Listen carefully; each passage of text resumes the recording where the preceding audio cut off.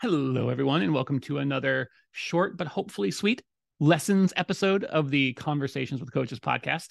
This one comes for comes to me from a recent a recent episode I've recorded. I'm not even sure if it's gone gone live yet. You know what? It probably has by now, but it's something that it's a again, it's another one of those something that I knew, but now I know in a different way, thanks to a coach putting it in a particular way. You know, I'm sure you're all very familiar with that with that experience, but it's a something I was thinking about was, and I, I basically end up talking about this almost every day, how one of a coach's most important jobs is a very, very simple one ask questions. Now, the nature of those questions, they could be simple, they could be complex, they could be surface, they could be deep. They're usually relatively simple. It tends to be the simple questions that are the most powerful, especially ones that you insist on getting an answer for. And this is where this is where this lesson comes in for me this insistence where it's you know maybe you ask a question and you you know someone demurs or they deflect so they're not really ready to answer. And so you're like okay. And maybe you continue the conversation for a little bit and then you ask the same exact question again. Maybe you put the emphasis on a different syllable or you move the words around a little bit but it's essentially the same question. Now when you insist on a question because you know it's an important question. It's one that you know your client needs to answer. They need to they need to find their way to their answer to this question to move on to the next one or to move on to the next step. You know this. But maybe they don't know this yet. And so what can sometimes happen and this is sometimes is out of your control, but this is something you can definitely be aware of is that your insistence on an answer can feel to your client like they're being judged. Sometimes when when people are just asked questions, they feel this pressure on them. And when people feel pressure like that, they maybe feel challenged.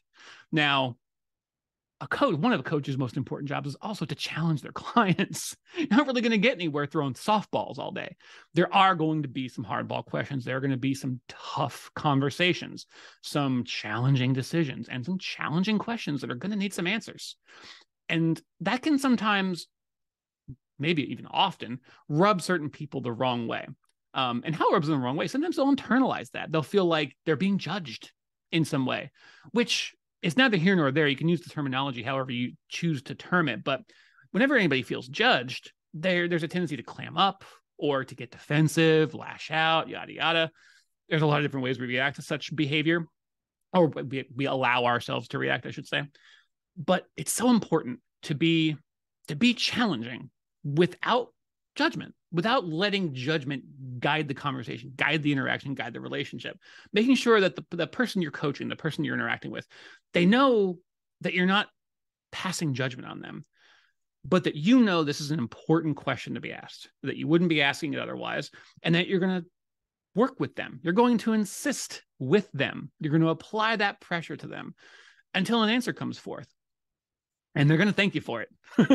As you well know, once you get there, they will thank you for challenging them and insisting on answers to the important questions, which are so often the simplest ones. But this is something that I've experienced from from many of the coaches I've talked to. This is one of those. I mean, I suppose some some of you come by it naturally. Maybe it's just like a skill that you've always had, but almost every coach I know has at the very least worked on and developed this skill, that ability to to ask and to hold those questions, hold space for the answers, insist on the questions, rephrase but not change the question so that the next question can be moved on to, the next step can be moved on to. It's really, it's really amazing. It's it's it looks simple because I think coaches have largely mastered this process. I'm always I'm always amazed and impressed when I'm on the receiving end or I'm just a witness to this. So challenging without judgment or without things shifting into a place of judgmentalism. Be insistent with the important questions, which again are often the simplest ones. But anyway, that concept of challenge without judgment that's been that's risen to the top um, of of my head and my heart recently, and so I wanted to share that with you, um, share some of my reflections, some of my thoughts, um, and yeah, I'm going to keep noodling on it because it's definitely something something that I have different kinds of reactions to as I move through life. So Anyway, challenge without judgment, simple questions, insistence, um, all very important attributes of good, even great coaching. So thank you for listening. Um, thank you for conversing with me, indulging me. And I will talk to you again very soon.